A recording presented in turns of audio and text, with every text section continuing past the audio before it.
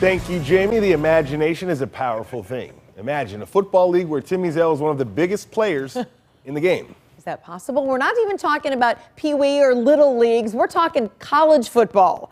Tim Ezell's in West St. Louis where he is, yep, working out with the team. How's it going so far, Tim? Well, I'm still getting geared up for, for practice here. Coach Austin Bortle joining me with the Fontbonne Griffins. We're talking sprint football. And uh, yeah, I'm going to be one of the weight, weight wise, one of the larger players on the team. That's what sprint football is. You have to be under 178. Correct. Yeah, all our players have to weigh in Thursdays before games and, and meet that weight requirement.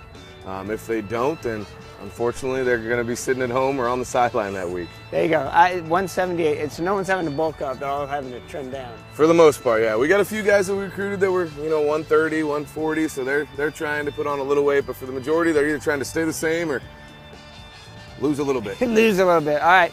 So I, I think I still have some college eligibility left. Come on. I, you know, I mean, there's no age limit, is there? No, no. There's a school in our league that actually has a 31 year old player. So yeah, that's just it's just a few years younger than I am. I am right. All right. So uh, what do I, what do I need to know about practice? What what are you looking for?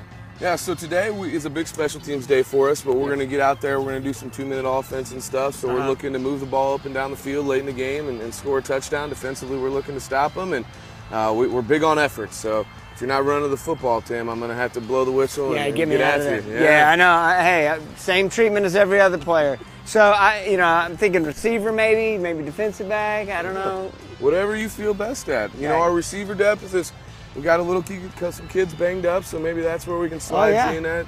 DBs, we got quite a few. I don't know. Yeah, I don't know if I can break in I don't know if you can break in the line. I can put a tackle on Mike right now. Oh, no, I better not do that either. We want to continue the show. So I, I'm working out. I'm getting ready to go. First game is on the 17th, right here at SLU. That's correct. Yep, at noon o'clock, noon kickoff. So we'll uh, welcome in Quincy University, which is going to be our, our rivals. So we'll get them going and see see what we can do. This is some of my competition walking in right here. Yeah, Oh, he's a, he's a D lineman. So He's a D lineman. Okay. How you doing?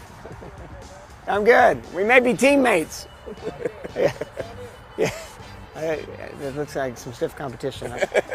Have my word cut out for me. All right, guys, coming up. I'm suiting up and showing up. We'll see if we stand up to the competition right here at Sprint Football with Fontbonne University. First game September 17th at noon right here at St. Louis University High School. We'll have more coming up. Fox 2 News in the morning.